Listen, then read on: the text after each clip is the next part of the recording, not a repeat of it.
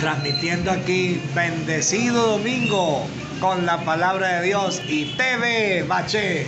Bien, bueno, padre, tenga un feliz cumpleaños hoy con un delicioso café en JJ y Coffee.